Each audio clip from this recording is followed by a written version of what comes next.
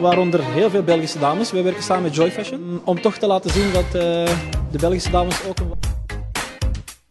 Maar toen ik het zag en als je het zo aan hebt, zo Marok